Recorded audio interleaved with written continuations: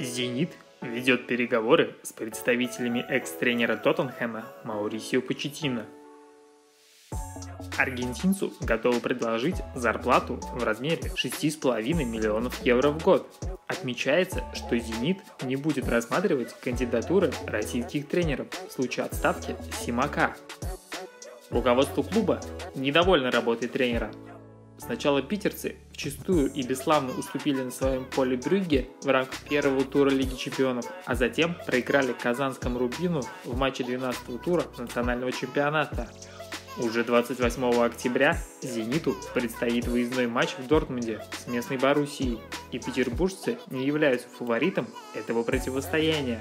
И в случае поражения от разговоров боссы сине-бело-голубых могут перейти к действиям.